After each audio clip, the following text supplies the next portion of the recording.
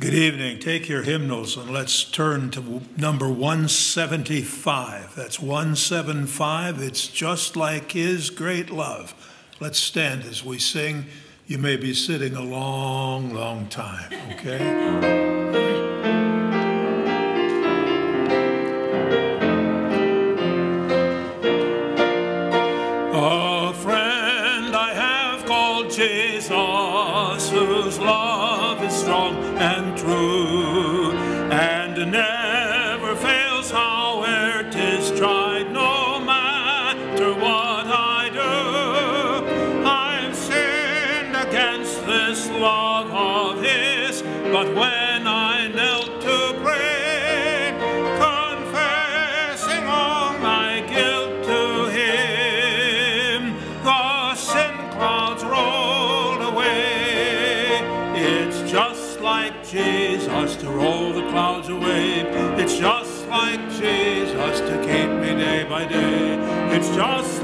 Jesus all along the way. It's just like His great love. Sometimes the clouds of trouble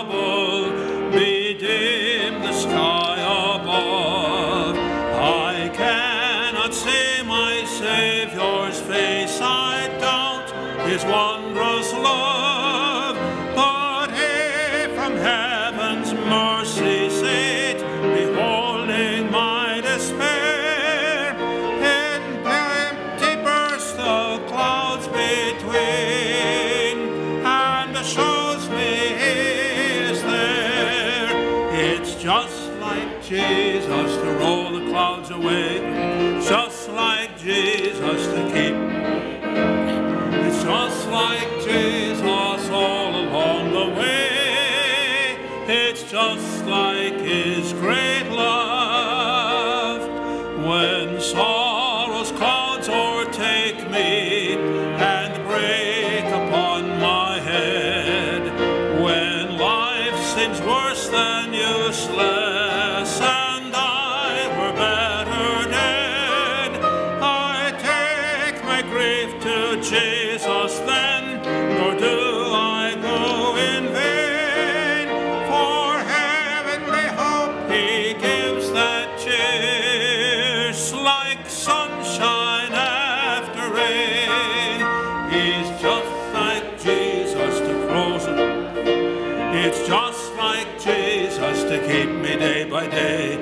It's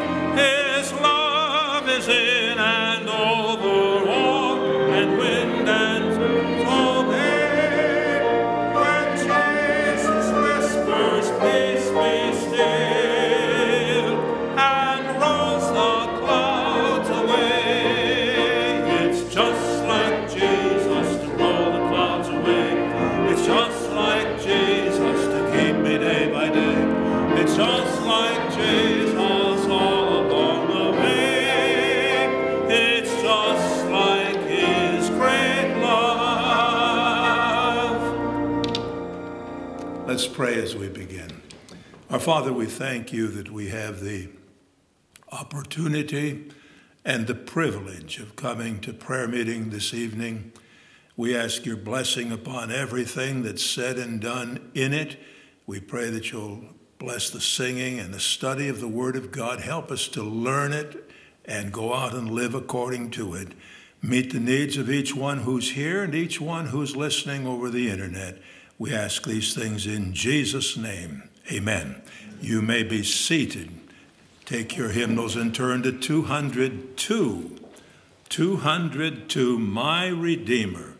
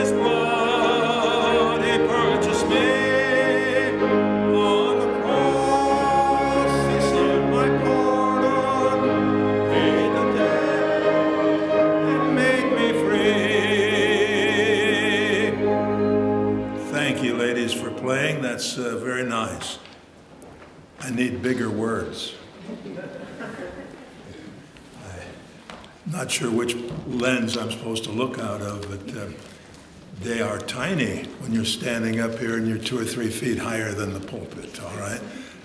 You don't know, know that because you can put it up close. I can't do that if my hands are involved. Uh, there's a famous Roman road named Via Egnatia, which ran through Philippi from east to west. It was the trade route between east and west, and it would eventually become the way the gospel message would make its way to Philippi.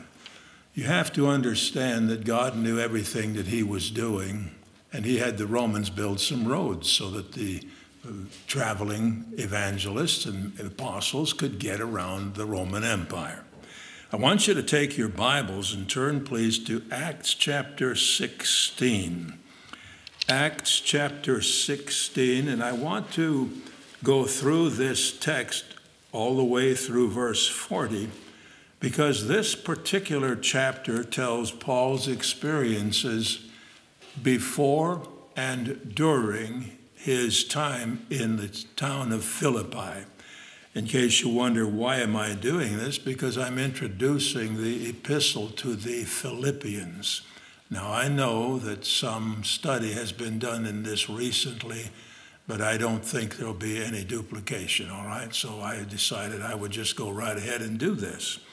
Now it says, starting in Acts 16 and verse number 6, when they, meaning Paul, Silas, and Timothy, had gone throughout Phrygia and the region of Galatia and were forbidden of the Holy Ghost to preach the word in Asia.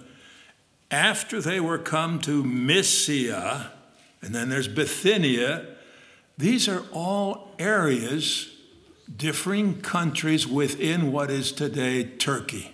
Okay? So that's the geography of it.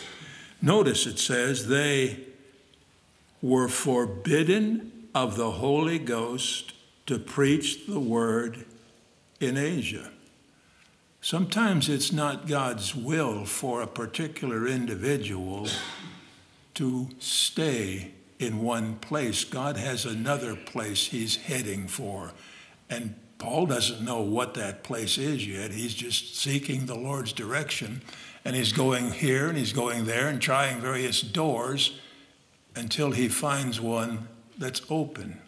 God does have a way of leading us through open and closed doors. And I would like you to understand a closed door is an indication of what God's will is not.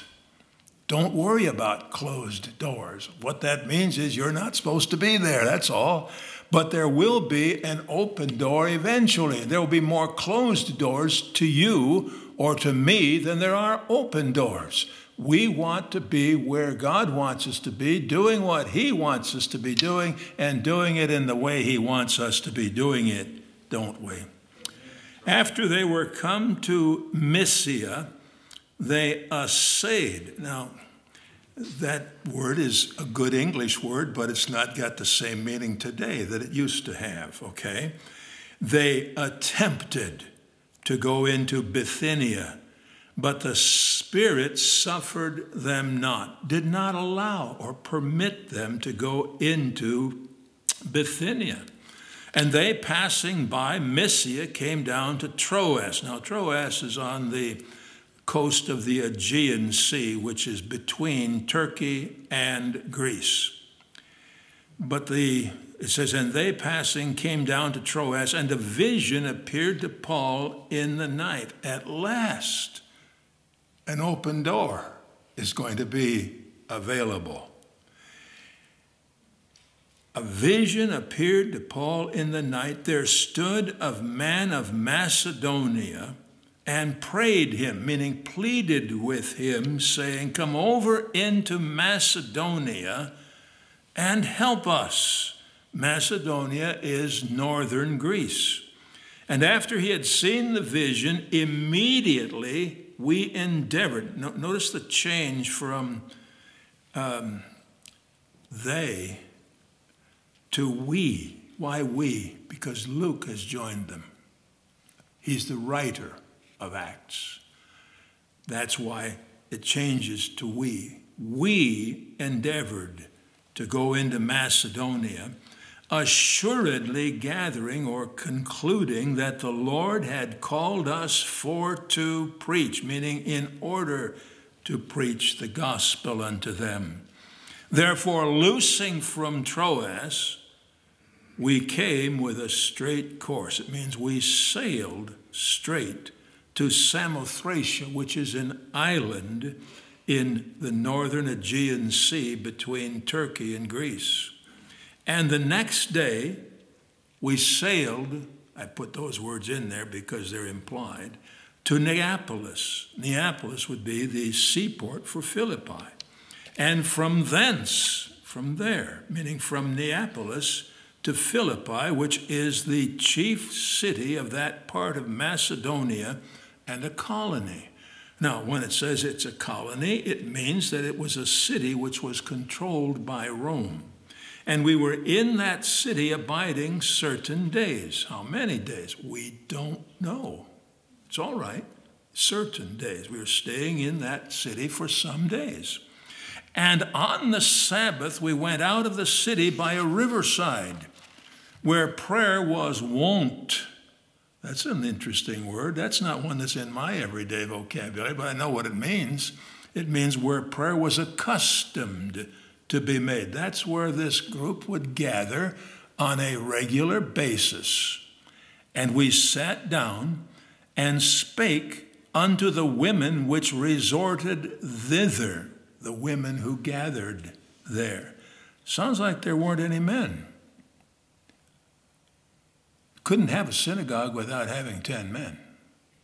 So they had a bunch of ladies, and they would get together and pray and a certain woman named Lydia, a seller of purple, meaning purple cloth or purple fabrics or purple goods, of the city of Thyatira. That's where she was from. So she wasn't uh, uh, from Philippi, which worshiped God, heard us. It sounds like she's not a Jew, but she heard them there whose heart the Lord opened, that she attended unto, meaning she paid attention to the things which were spoken of or by Paul. And when she was baptized, she obviously got saved, and her household. How many infants were in her household? None. How do I know that? Infants don't believe in the gospel. Okay? So what is what why do some people want to promote this as suggesting infant baptism? They have to assume there were infants baptized. It's easier to assume that they weren't saved, therefore they weren't baptized. But everybody that did get baptized had been saved. So there were no infants being baptized. These are called, there are two of them in the New Testament, as I recall, and they're called household baptisms. I think the other one is actually in this chapter too. It's the Philippian jailers. Anyway, she besought us, saying, If we, you have judged me to be faithful to the Lord, come into my house and abide there, stay there. And she constrained us. And it came to pass as we went to prayer, a certain damsel, means a young female slave, possessed with a spirit of divination.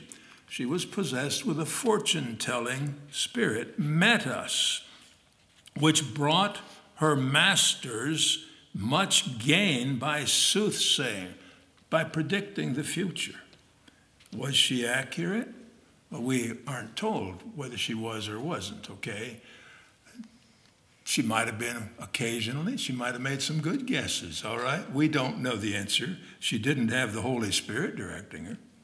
The same, meaning this fortune telling slave girl, followed Paul and us and cried, saying, These men are the servants of the Most High God, which show unto us the way of salvation.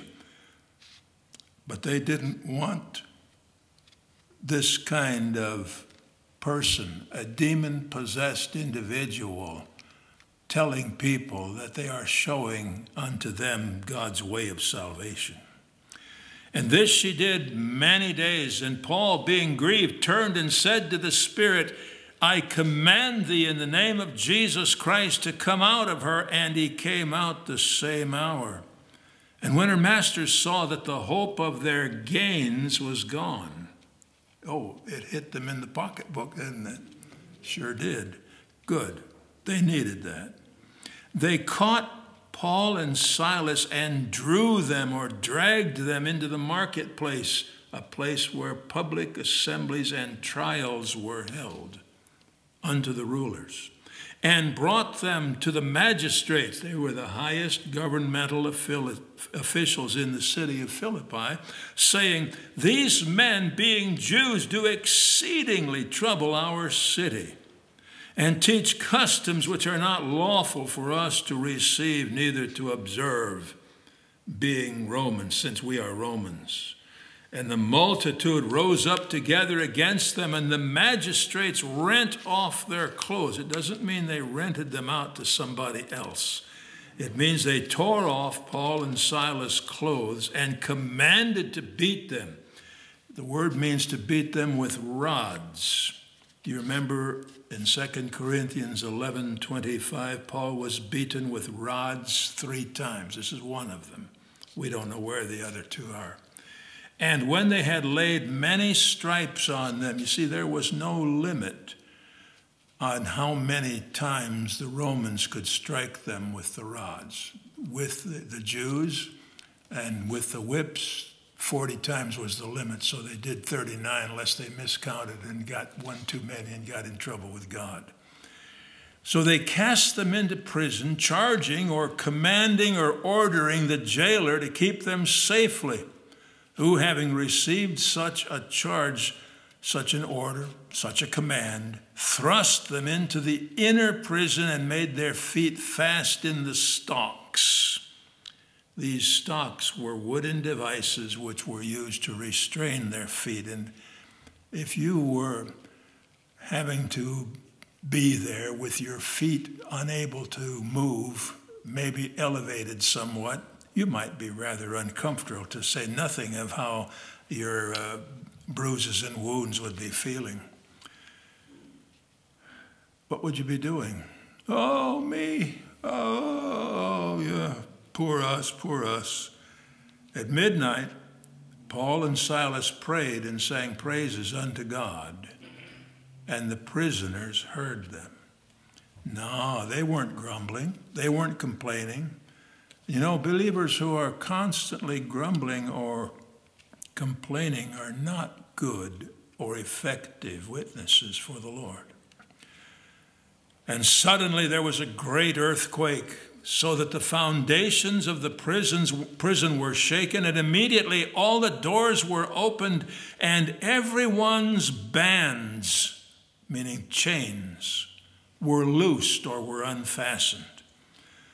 And the keeper of the prison, meaning the jailer, awaking out of his sleep and seeing the prison doors open, drew out his sword and would have killed himself, supposing that the prisoners had been fled, meaning that they had escaped.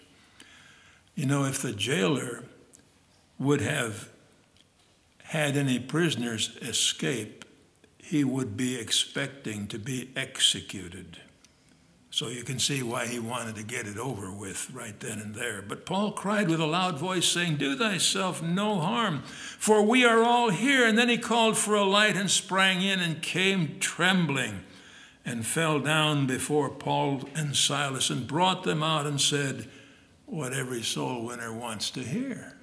Sirs, what must I do to be saved? And they said, Believe on the Lord Jesus Christ, and thou shalt be saved, and thy house, meaning your family, not your the physical structure in which you live, but your family. Of course, they had to believe also in order to be saved. And they spake unto him the word of the Lord, and to all that were in his house, and he took them the same hour of the night, and washed their stripes, and was baptized he and all his straightway or immediately. And when they had brought them into his house, he set meat, meaning food, before them, and rejoiced, believing in God with all his house, meaning household or family. And when it was day, the magistrates sent the sergeants, who were the police officers, saying, Let those men go. And the keeper of the prison told this saying to Paul, The magistrates have sent to let you go. Now therefore depart and go in peace. But Paul said unto them, They have beaten us openly, uncondemned, being Romans. Paul and Silas were Roman citizens. You just didn't do this to Roman citizens. They should have checked before they did what they did and have cast us into prison and now do they thrust us out privily, meaning secretly? Nay, verily, no, indeed. But let them come themselves and fetch or escort us out. And the sergeants, meaning the police officers, told these words unto the magistrates.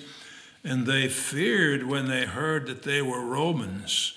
And they came and besought them. They pleaded with them or appealed to them and brought them out and desired them to depart out of the city, meaning to leave town. And they went out of the prison and entered into the house of Lydia. And when they had seen the brethren, they comforted, meaning they encouraged them, and departed. Well, after visiting with their fellow believers and encouraging them, Paul and Silas and Timothy left town and headed toward Thessalonica, where the Philippian believers sent gifts to them on several occasions. But it would only be a matter of a few weeks before they would be forced to flee for their lives from Thessalonica. Paul refers in 1 Thessalonians 2 2, you don't need to turn to that, to the treatment he had received in Philippi. He says, But even after that we had suffered before and were shamefully entreated, as ye know, at Philippi we were bold in our God to speak unto you, meaning you in Thessalonica, the gospel of God with much contention. It means in spite of great opposition. Wherever he went, he faced opposition. Well, After we've seen Paul's ministry in Philippi, we move on to observe Paul's circumstances at the time he wrote Philippians. You may be familiar with this, you may not be. Paul wrote Philippians from prison in Rome in approximately AD 61 or 62, about 10 years after Paul, Silas, Timothy, and Luke first arrived with the gospel message in Philippi. The book of Acts closes in about AD 60 with Paul in prison awaiting trial. Philippians seems to have been, been written after the close of Acts, but before Paul was released from his first Roman imprisonment no correlations are able to be made between what is stated in Philippians and the events recorded in Acts to enable us to be more specific than this. In addition to Philippians, Paul also would write Ephesians, Colossians, and Philemon at about this same time. These four epistles or letters are known as the prison epistles. Yes, he wrote 2 Timothy from prison also, but it's not included in the group known as the prison epistles, all right? I want you to have that straight in case you ever want to take a course on the prison epistles. You might as well know what you're studying, all right? So, as Paul writes Philippians, he's hopeful of being released soon. Whereas in 2 Timothy, which is written about five years later, Paul is expecting to be executed. Certain statements in Philippians hint that Paul's trial may have already concluded and that he was only awaiting the verdict, whether that would be life or whether that would be death. He was awaiting that verdict at the time he wrote this epistle. Although the verdict could call for him to be executed, Paul was expecting to be released from prison, and he expresses his expectation in Philippians 1 19 through 26. You might want to look at that. I'm not preaching on that tonight, but um, we'll go through it just very briefly. Philippians 1 19 through 26. For I know that this shall turn to my salvation He's not talking about the salvation of his soul here. It's to my deliverance from prison or to my deliverance from my execution. I know that this shall turn to my deliverance through your prayer and the supply of the Spirit of Jesus Christ. In other words, the support provided by the Spirit of Christ, which is a reference to God the Holy Spirit according to my earnest expectation and my hope, that in nothing I shall be ashamed, but that with all boldness, as always, so now also Christ shall be magnified in my body, whether it be by life or by death. That's a good idea for you and me as well, to seek to be magnifying the Lord Jesus Christ in our lives, whether it's the way we live or whether it's in our deaths. You know, unless the rapture comes, we're all liable to experience that death one of these days. Some of us might be there a little bit sooner than others, but we never know. It's kind of, uh, I was reading here the other day in about Barzillai, and he was very, very ancient, 80 years old. I thought to myself, that doesn't look so bad to me anymore. I don't play baseball or football anymore, though. I just want you to know I, I, gave all that stuff up when I was a teenager. Well, no, I played baseball into my 40s, but I, I don't feel quite as young as I once did, but I don't feel like Barzillai did either. And then Moses, he didn't even get started in his ministry till he was 80.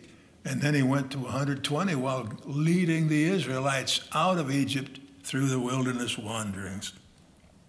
How long are you going to live? Who knows? Really, who cares? I mean, it, it, what is it? We, it is what we are. Now, when we can't move and we can't think, and we can't eat, and we can't pick up anything. We get to the point where, like that song, if I were better dead, okay, I take my cares to Jesus. We don't know. All right, back to this. For to me to live is Christ, and to die is gain. Living for us, like for Paul, should be magnifying Christ and living faithfully for Him as long as He gives us breath. But don't worry about death. It's like going through a doorway. The process may not be pleasant, but the result is very pleasant. It's gain. We'll be better off than we are now. We've never been that well off in our lives previously. But if I live in the flesh, this is the fruit of my labor, but what I shall choose I wot not. What? that's a past, no, that's the present tense of wit. I think it is W I T. Those are words we don't use anymore. It means I don't know. For I'm a strait betwixt two. It sounds like something we would say today. I'm in between a rock and a hard place.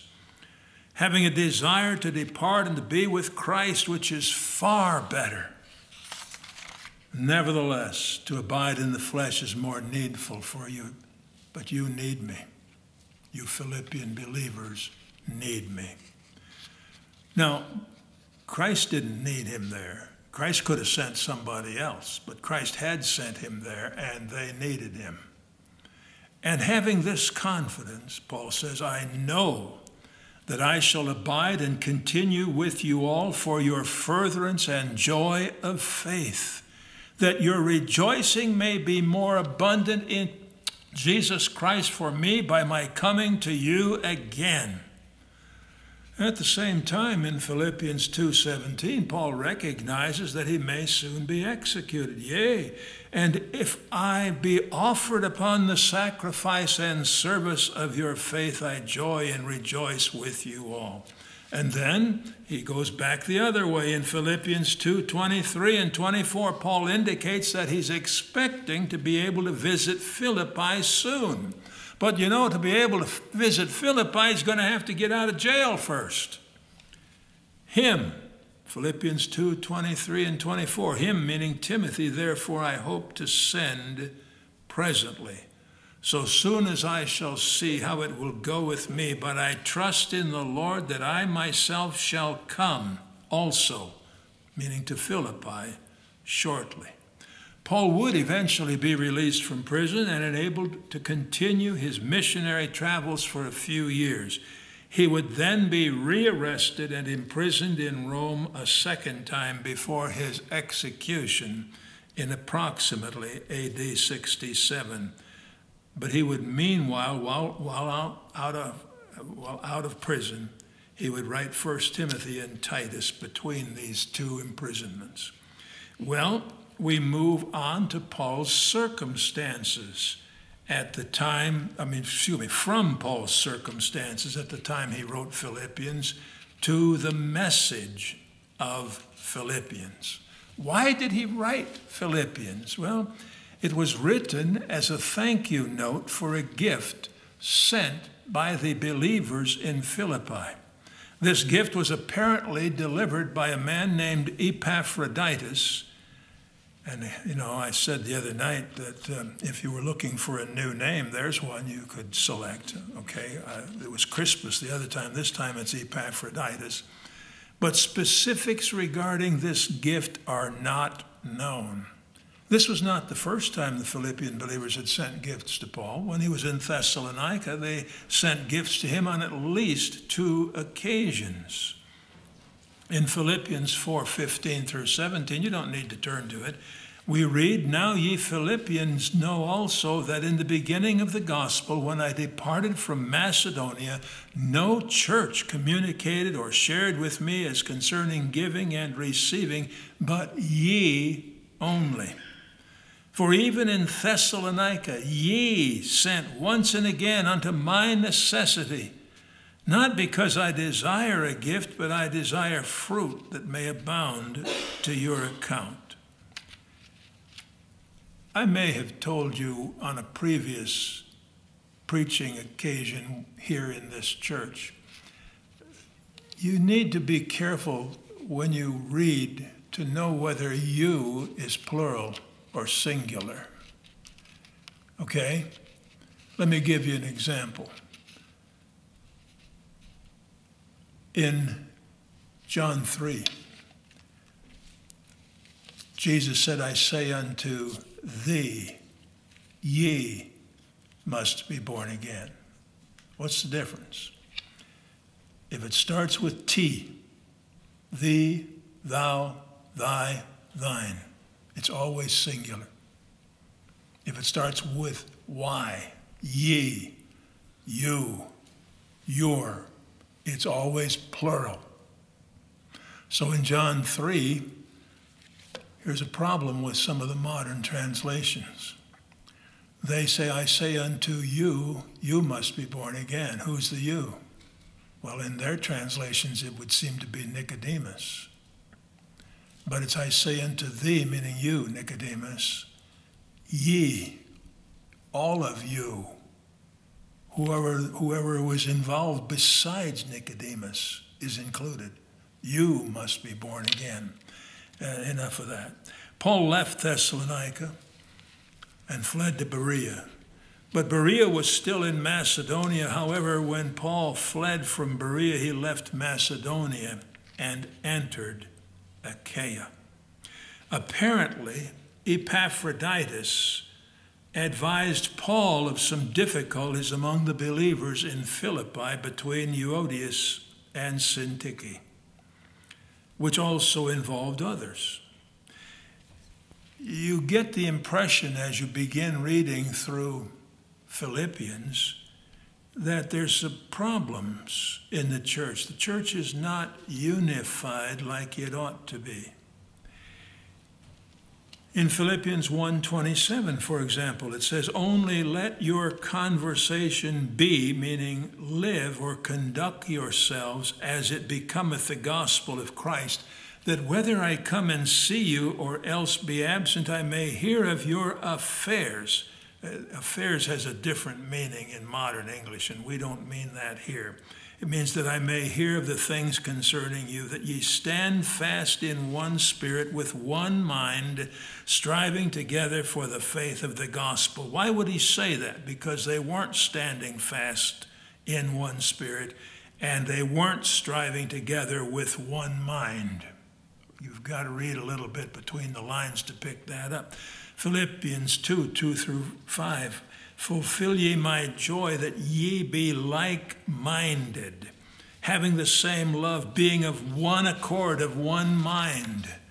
Let nothing be done through strife, meaning uh, contentiousness or vainglory, which would be excessive ambition, but in lowliness or humility of mind, let each esteem, consider, or regard other better than themselves. Look not every man on his own things, but every man also on the things of others. Let this mind be in you, which was also in Christ Jesus. Why is he having to say that? Because it wasn't that way, and it needed to be. Philippians 3 13 through 16. Brethren, I count not myself to have apprehended, meaning to have attained it or achieved it, but this one thing I do forgetting those things which are behind and reaching forth unto those things which are before, I press toward the mark for the prize of the high calling of God in Christ Jesus. Let us therefore, as many as be perfect, meaning as many as are mature.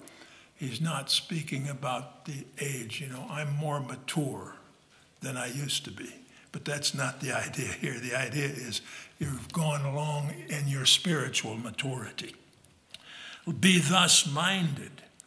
And if anything you be otherwise minded, God shall reveal this unto you. Nevertheless, let us, whereunto we've already attained, let us walk by the same rule. Let us mind the same thing. Why did he have to say that? Because they were not united. And then you come to the, he opens it up in Philippians 4 1 through 3. Therefore, my brethren, dearly beloved and longed for, my joy and crown, so stand fast in the Lord, my dearly beloved. I beseech Euodias and Syntyche that they be of the same mind in the Lord.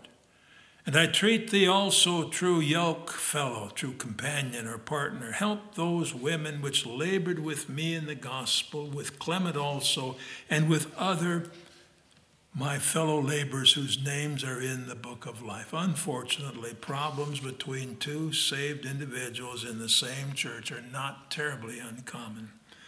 And they're often left unresolved, and it always adversely affects the entire church. Paul was preparing to send Epaphroditus back to Philippi, and Paul would like to take advantage of his return to send this letter to the Philippian believers along with him. In verses 8 and 9 of chapter 4, Paul lays out an appropriate and unified mindset for their consideration and this is in contrast to any disunity or squabbling among themselves. Finally, brethren, whatsoever things are true, whatsoever things are honest, whatsoever things are just, whatsoever things are pure, whatsoever things are lovely, whatsoever things are of good report, if there be any virtue and if there be any praise, think on these things. Those things which ye have both learned and received and heard and seen in me do, and the God of peace shall be with you. That's a couple of verses that would be good for us all to memorize if you haven't already done so. Now, having considered all the background, let's take a look at the opening greeting in verses 1 and 2. First, that's Philippians chapter 1, verses 1 and 2. Paul and Timotheus uh, by the way, these are verses you know you really read over fast, right? Now there's more in there than you'll you want to skip. Learn what's in there. Paul and Timotheus, the servants of Jesus Christ, to all the saints in Christ Jesus, which are at Philippi with the bishops and deacons. Paul identifies himself as the writer of this letter and indicates that Timotheus or Timothy was with him when he wrote it. Paul describes himself and Timothy as the servants of Jesus Christ, where servants is the term which means slaves. They had voluntarily enslaved themselves to Jesus when they gave themselves to him. It suggests that they regarded themselves as existing for the sole purpose of doing the will of their master or Lord, regardless of what it was. They no longer regarded their lives as being their own. Now, there's a good example for you and for me to follow. We need to be sold out to the Lord, His slaves, seeking to do His will and existing solely for the purpose of doing that will, whatever it turns out to be. Paul writes to all the saints in Christ Jesus, which are at Philippi. It's to each and every believer in Jesus Christ was, who was living in Philippi. They were saints in that they had been sanctified or set apart for Christ's use. Note that the word order of Christ Jesus emphasizes the fact of his being the Messiah with the bishops and deacons is together with the bishops and deacons, which indicates that there were only these two church offices among the believers at Philippi. A bishop is an overseer or superintendent. He's responsible for overseeing the work of the local church. The fact that bishops is plural indicates that there was more than one bishop in Philippi.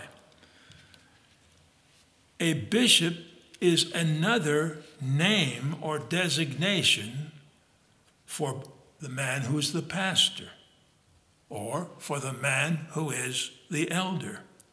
As a bishop, he oversees the work of the local church. As a pastor, he shepherds, tends, or feeds the flock, meaning the local church. As the elder, he's in control of the assembly, meaning of the local church. Although three terms apply to the same individual, there's no such thing in the New Testament as a bishop who is not both a pastor and an elder. There's no such thing as an elder who is not both a bishop and a pastor. And there's no such thing in the New Testament as a pastor who's not both a bishop and an elder. Now, different denominations will not agree with what I just said, and it's their privilege to be wrong if they choose to be, all right? Two New Testament passages are sufficient to demonstrate what I've just said. In 1 Peter 5 1 through 4, Peter writes, The elders which are among you I exhort, who am also an elder and a witness of the sufferings of Christ and also a partaker of the glory that shall be revealed. And then he says, Feed the flock of God which is among you, which is the pastor's main responsibility in the church. Feed the flock. Feed them what? Bible. Teach them the Bible accurately, thoroughly. Don't teach your ideas. Teach God's ideas. You're better off. Feed the flock. Taking the oversight, that's the, that's the, the uh, superintendent, the bishop. Not by constraint, but willingly. Not for filthy lucre, but of a ready or a prepared mind. Neither as being lords over God's heritage. Do you see that? We're not to be lords over you. Leaders, examples, but being examples to the flock. And when the chief shepherd shall appear, ye shall receive a crown of glory that fadeth not away. The other passage, it's the same sort of thing. I'm not going to go through it in the interest of time, but it's Acts 20, 17 through 35, where Paul is meeting with the elders of the church at Ephesus and he says, Take heed to yourselves and to all the flock over which the Holy Ghost hath made you overseers to feed the church of God, which he hath purchased with his blood. The fact that bishops in Philippians is plural suggests that there may have been a number of local churches in Philippi. Most likely they were house churches. You know, they didn't have big buildings like this. They'd have a, a few families come into one house and each house would have its own pastor. Deacons were servants. They were the men who were placed over the temporal matters of the local church. They were not church bosses as if they had authority over the elders, bishops, or pastors. The office of deacon was first established in Acts 6. I won't go through that, but if you'd like to read it, go ahead and read it.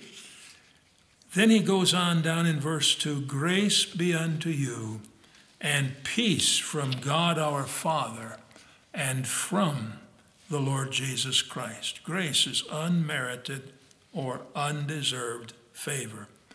The Philippian believers had experienced unmerited or undeserved favor when they trusted Jesus Christ as their personal Savior, just like you and I have. But this grace in this verse is not speaking of saving grace. Why not? Because they already had saving grace. The grace mentioned here is something these saved Philippians or these Philippian believers still needed. Something which would go beyond the grace they received at salvation. It is grace which will enable them to live their Christian lives. You know, when it comes time for you to die, you'll need dying grace too.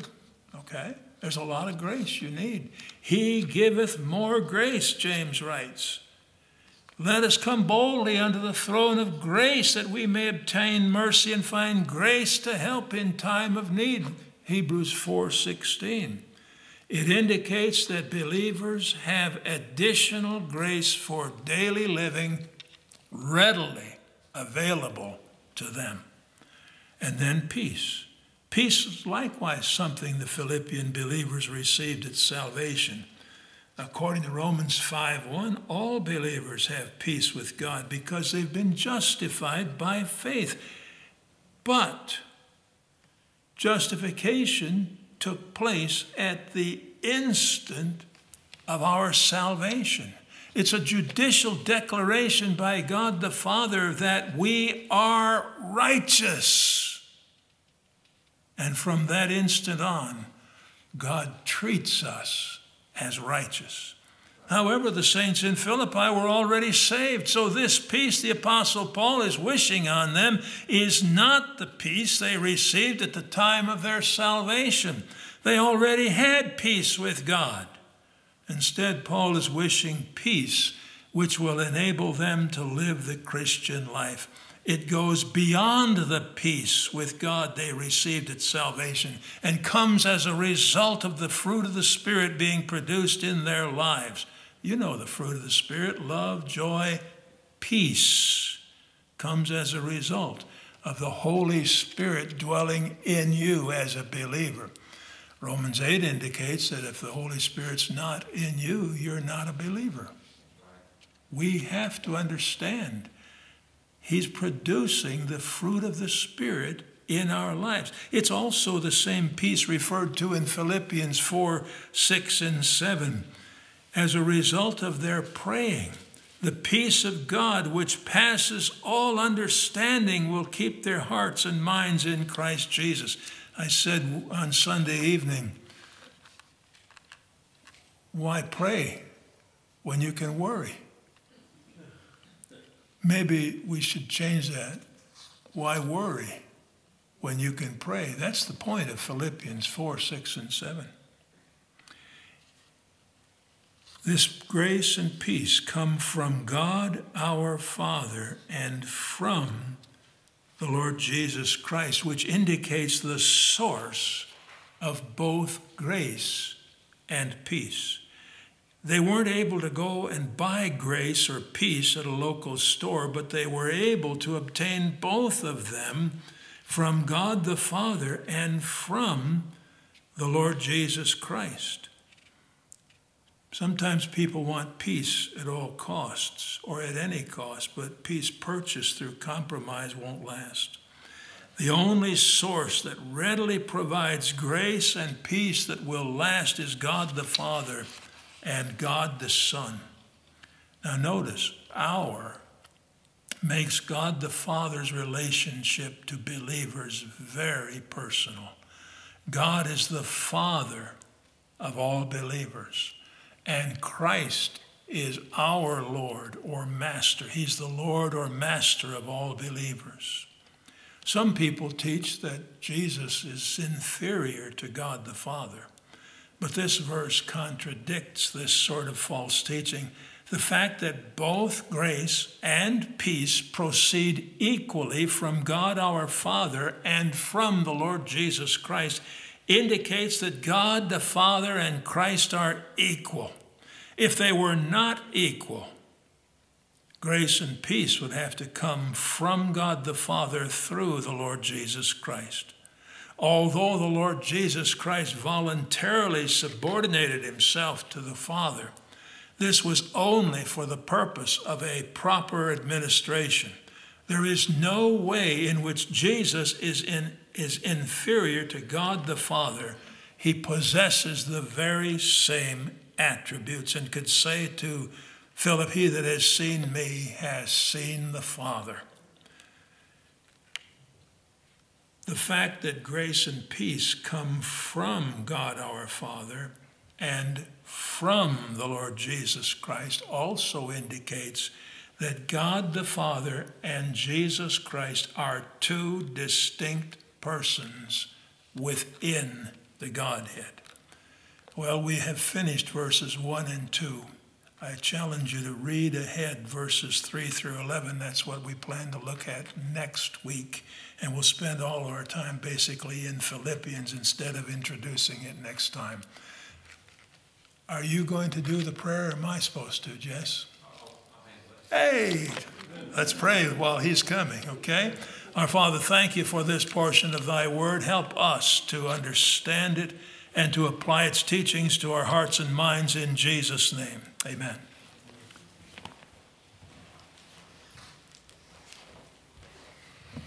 Thank you for those words, Dr. Q. We appreciate that. All right, we'll take time for our prayer and praise tonight. I just had a few few mentions. I'd like the first one, I guess, to be some very exciting news. As you knew, and I hope, I trust that many of you have been praying about our insurance situation. Um, I try to be a realist and not exaggerate things, make them any worse than they are if it's bad news, and try not to be too excitable if it's good news. But that was a very, very serious situation. Very serious.